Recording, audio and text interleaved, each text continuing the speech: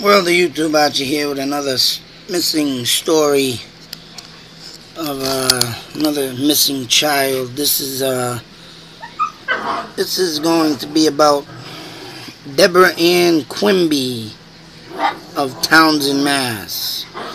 As you can see down here, I got a picture of her and a missing thing from the uh, Charlie Project blog. Um, she's been missing since 1977. And, um, I have the dog attacking me tonight. Good old dog, um, May 3rd to be exact. Now, um, this case to me is very bizarre. Um,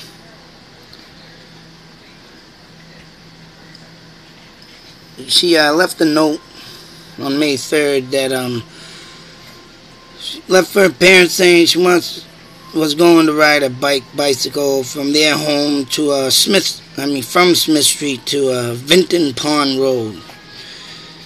Um, now today I took a trip down these routes to do some you know routing on my journey. I'm gonna bring in my next video and bring you where she said. I'm going to do a Google map search too due to there are some places that I cannot bring in the camera or if I try to I'll have to see what I can get because it is in the wooded area but might be doing a couple videos on this three maybe tops but um this one is gonna be uh just about this and um you know in where she was last seen.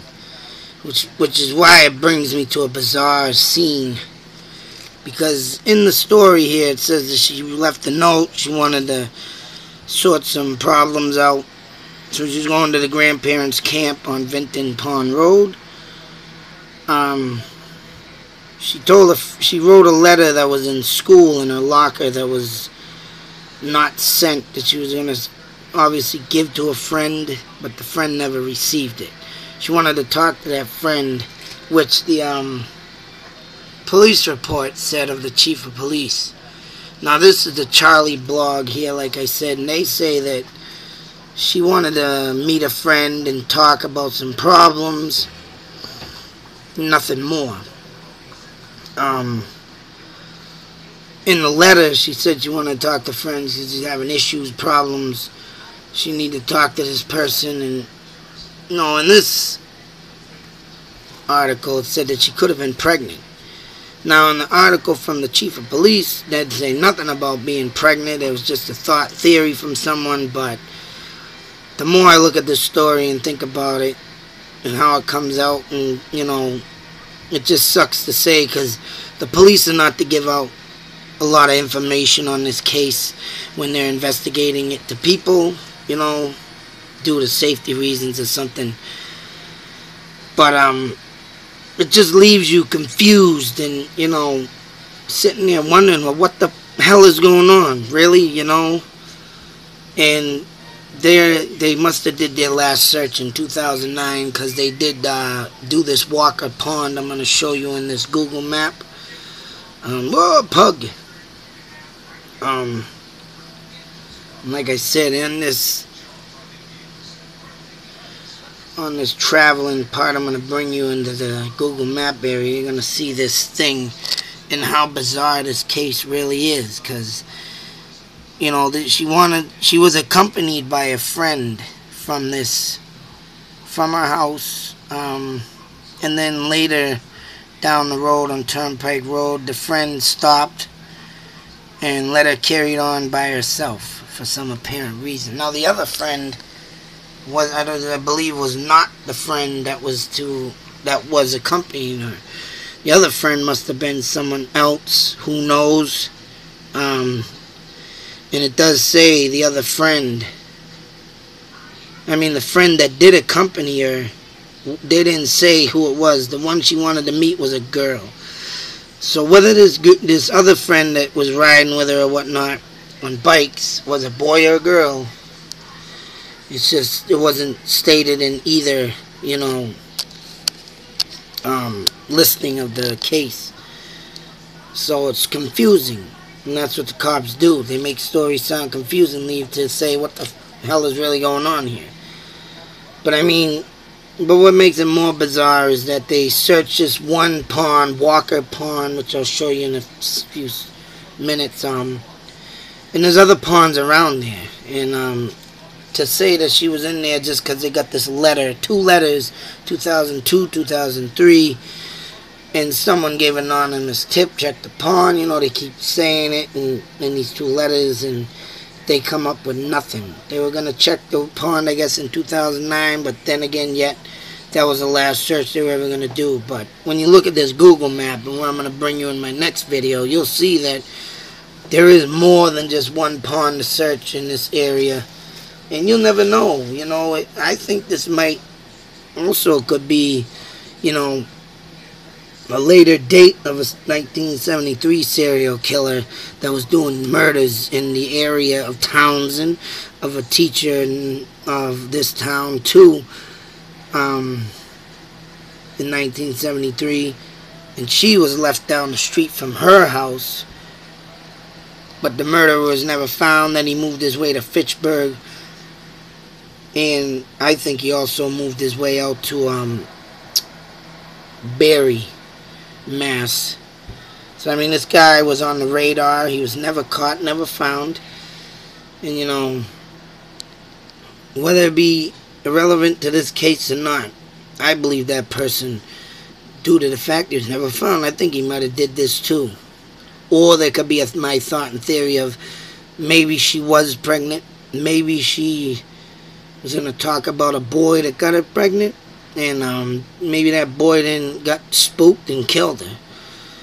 And you know, back in these days when you get knocked up and stuff, you know, parents weren't fond of that stuff like today. You get knocked up today, it's like, oh, we'll take care of it. That's all right. Back then, you didn't have a choice. You had to hide that pregnancy, or you, or something bad was going to happen, or you would get thrown out, or the parents would give you money and throw you out. or some would just take it in and you know deal with it but back in them days a lot of girls that got knocked up they were sent to fend for themselves so being scared and knocked up back in them days yeah it's a, it's not a joke so whatever it may be and how strict these parents were and uh, the father died unfortunately in 2009 and the mother didn't want to do no more interviewing on this story so I mean whatever it is is and um why she don't want to continue searching is beyond me because like I said there's other places in here. You know even though she could have been taken to another town there's still a lot of woods and areas. When I bring you in my second video I show you of a lot of places where this person just could have dumped her off and the cops ain't searching. So anyway let's start off with Smith Street. This is uh, where she lived. And I don't know what house it doesn't give addresses of any of the houses, but um,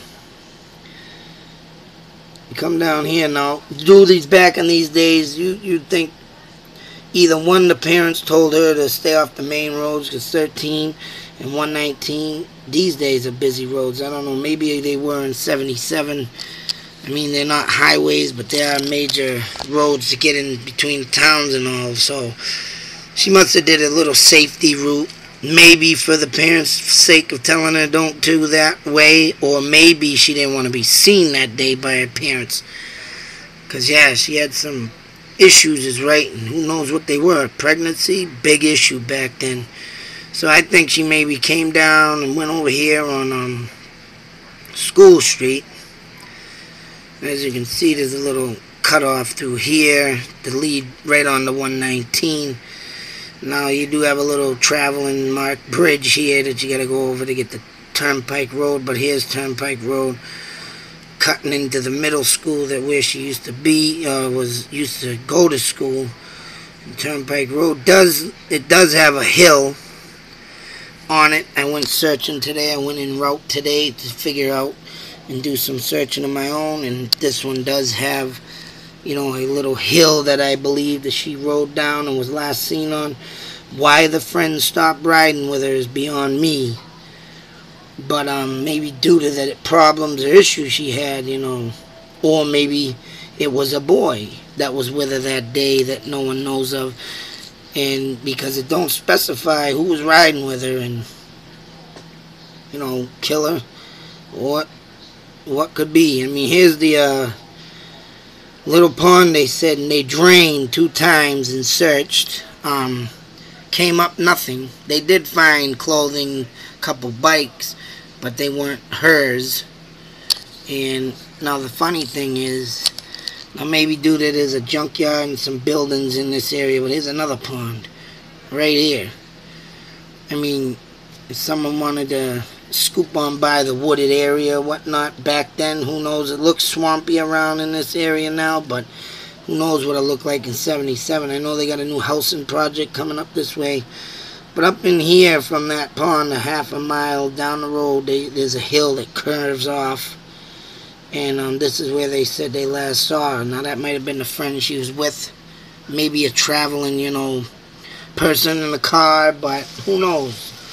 Like I said, the cops don't give much information, and that's why cases don't get solved too quick either. You know, you never know if you throw out a little more info and stuff, what you may find or what people may come out with, but they just don't want to do it. And so, anyways, all in here, like I said, was about where she was picked up. Now, whether or not she was thrown in either pond, or maybe, you know, if you go down further, you got a river here, little brook there, but that was nothing. And you come on Old Turnpike Road, there's another little pond up here. And where is it? It's, uh, shit. Road? No. Hang on a sec. Yeah. Went the wrong way. Right here. Two ponds off of Old Turnpike Road. I didn't pass them today. I turned off on Dudley Road here because that's where the uh, en route site would be the quickest to her grandmother's. But what if someone threw her here, which is, they say, is off the side of the road, the one Walker pond, the first pond I show you, you can see it when you drive by it. I drove by it today, but this one's even closer. Then you can walk out here in the woods. There's a lot of woods pond there. And even if you come off Dudley Road, I mean, someone could have dumped their body off in there, but they didn't search. No one searched. Now, whether or not you can search these, I got to find out. That's what I'll be doing in my next video. But I want to show you the distance of her grandparents' house. When I drove it today, to me it seemed like five miles. And a hike is longer on a bike, which I'm going to figure out on my Google Maps here. So as you can see, you got the car here. When you do roads together from your destination to where you're going, which I'm going to do, it shows you the bike, walk, car, bus. I'm going to see how long it is riding a bike. But you got to cut down here on Dudley Road. And you're going to come out on there on Canal Street. And you got to come right over here. Oh no, you got to go down here to New Fitchburg Road. So you're doing a little, or you can cut over here. See if she went down here, cut over. Today I went down New Fitchburg Road, but that ain't no biggie. I mean, either or, as you can see, you can cut over. Save you the trouble of staying in the, uh, staying out of traffic. Ah, come on. I don't want that. But, um, so you come down here, and when you drive on this new Fitchburg Road to get to where she was going. It's like a damn friggin' long trip. To me, it seems like five miles, and who knows how long she had to ride on this street here, which is here you go. You turn left, and you got the Vinton Pond Road. Now this road's friggin' even longer, and I'll just show you real quickly. I don't know where the campsite was, but there was a pretty good amount of houses in the woods tucked away. But as you can see, it does cut off right here. I mean, it starts back up in the Fitch, or Ashby area here, but all this is Townsend, and that's a long road right there. That's along my tip of my finger. So, whether or not she was traveling that road or not, there's a pond there that she could be at. And who knows if this person knew of it. Who knows if it was the killer with a guilty conscience, like I said, a boy that got impregnated. You know, no one's gonna know because the story don't give out much details but And yeah, you, you, would never know until you find the body, but even that would be, you know, irrelevant because if there was a baby in there, it's already eaten up. The skin and flesh is eaten up, but, you know, sucks to say, man. This this is one crazy, bizarre story, and like I said, as you can see, as you travel, it's like a five-mile drive. And like I said, I'm gonna bring you live throughout this route. I'm gonna bring you to the pond where they think she is and like right here. And I'm even gonna stop up to this pond and see how this one looks I didn't do that today. But um I mean shoot they could even get this road confused with the new turnpike road and all that. Or they can be up there there's another you know pond up here and just think it's that cut off and goes up there. People get confused you know but I think it's yeah it's just someone just got scared, maybe a guilty conscience, and then wrote something, but thrown off track. Maybe they think that they would take another look somewhere else, or whatever it may be. This this fucking story is just bizarre, crazy bizarre. And to me, not in, not coming out with who the friend was that stopped going with her, or putting out the name of the friend that was she wanted to meet but then again, who knows what she had to do with it or even wanted to know. But this friend that went with her, she had to have talked to her on the way.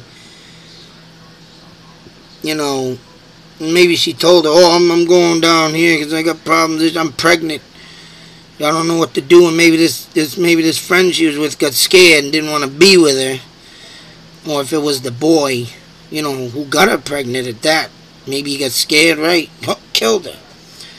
And it's just sick to say it just had to happen that way but I don't know. I'm gonna I'm gonna take a little adventure on this and just see what I can get and you know but who knows? You know this turnpike road is a big wooded area.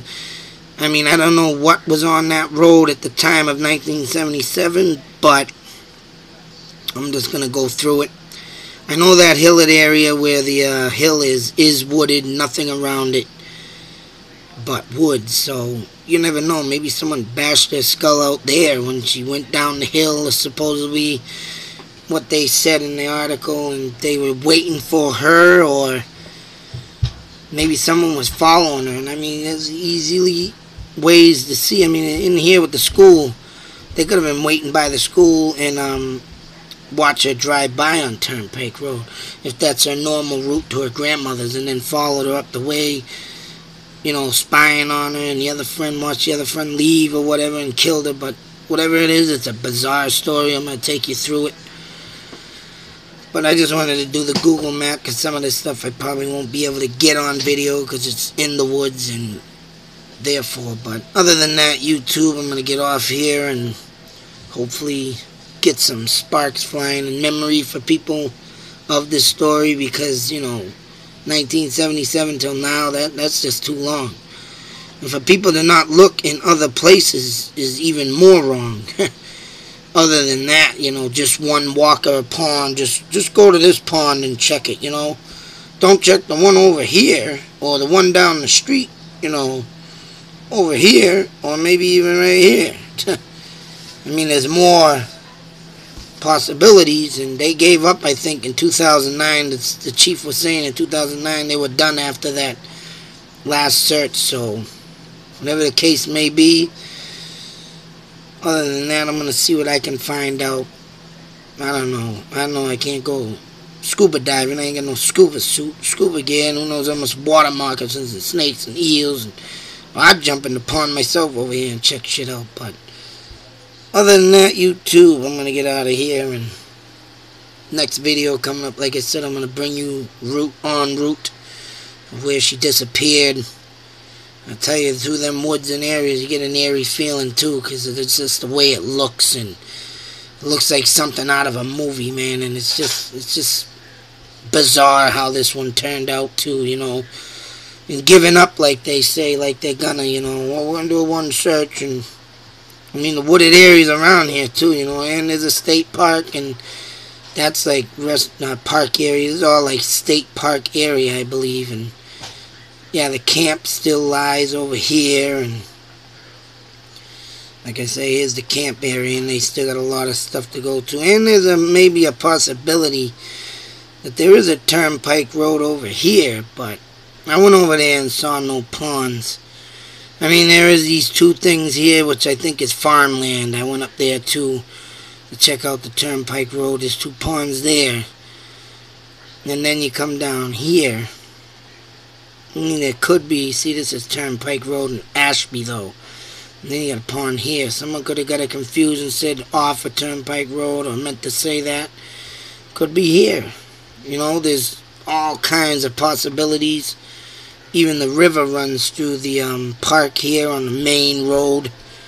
Like, yeah, right there, you see the line along here? That's a river right there. So, river on the other side at that. I mean, it runs through both sides of the road, so there's all kinds of things out there that could be looked at maybe I mean if you got the time try it if not hey what at least you tried but till the next video of the road search we're gonna do I might do another video but over here just to show you what that turnpike road looks out like. But other than that YouTube I am out